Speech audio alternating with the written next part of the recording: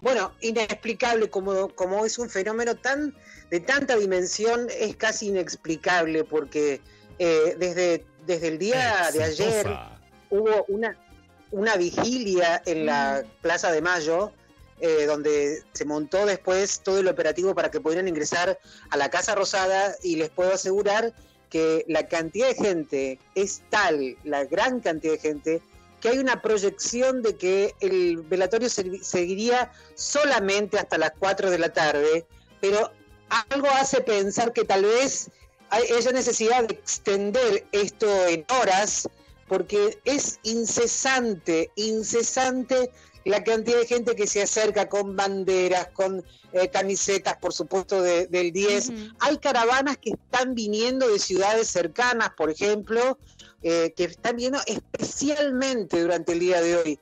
Lo que vemos es que de tanto en tanto se produce algún incidente, por ejemplo, cuando entró hace un rato algo así como la guardia pretoriana de Boca, que es la, la, hinchada, la 12, eh, hubo algunos incidentes, de tanto en tanto se produce algún incidente y es como si todo el mundo hubiese perdido racionalidad en torno, en torno a qué pasa con la pandemia.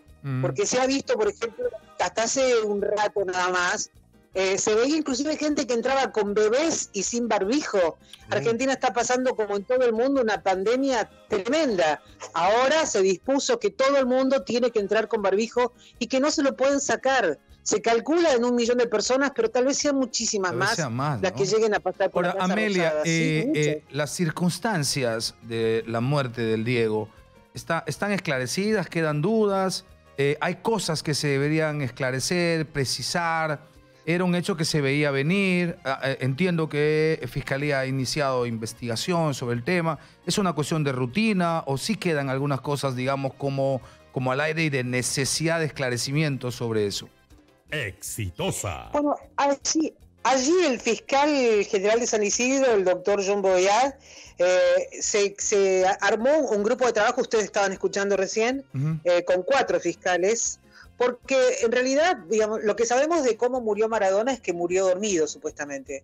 Que la última persona que lo vio fue su sobrino eh, a las 11 de la noche del día anterior, cuando se estaba yendo a dormir, y que después de eso habían quedado en la casa su sobrino un empleado que estaba para hacer la actividad física, una enfermera y la cocinera. Que mm, a la mañana siguiente, mirá la cantidad de horas entre las 11 de la noche y las 11 y media de la mañana del día siguiente. Es mucho el periodo de tiempo.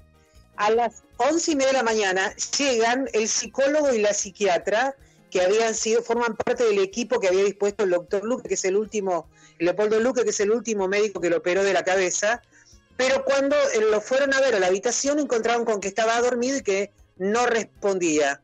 Eh, en ese momento llaman al sobrino y al asistente para decirles qué pasa, que Diego no despierta, y allí se dan cuenta que evidentemente eh, Maradona estaba muerto.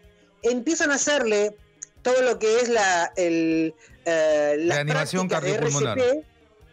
Exactamente, las prácticas de RCP y empezaron a llamar a, inclusive llamaron a un vecino, llamaron a, por eso llegaron 10 ambulancias, pero hay un periodo para, para que se debe explicar qué es lo que van a investigar. No, eh, por el momento no es que hay, no tiene carátula de homicidio culposo ni nada por el estilo, pero seguramente la familia va a querer establecer qué pasó entre las 11 de la noche y las 11 y media de la mañana, 12 horas eh, sin tener ningún tipo de de control de, cómo estaba Diego. De comunicación con aquellos que vivían con él. Pero había información, Amelia, de los últimos días, una fuerte depresión. Sí, eso decía, eso eh, decía, pero hay versiones también, esto va a ser larguísimo, te puedo asegurar que esto va a ser larguísimo. Porque por un lado, su abogado, Matías Morla, que era el hombre odiado por, por Dalma y Janina, y es el hombre que llevaba como el, trabajo sucio de, hacer todos los juicios contra eh, la familia, eh, no está hablando, como que se ha corrido de un plano, pero sí está haciendo circular entre los periodistas, amigos, información del tipo, por ejemplo, que Maradona estaba en la ruina, que Maradona estaba deprimido por culpa de las hijas. Eh, ese tipo de cosas parecen ajustarse a la realidad absoluta.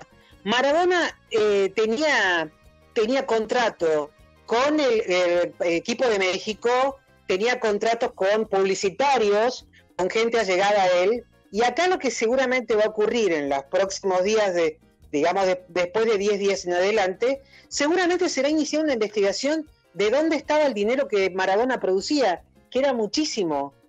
Porque nadie puede asegurar que Maradona estaba en la pobreza. No existe, no existe posibilidad alguna de pensar que estaba en la pobreza.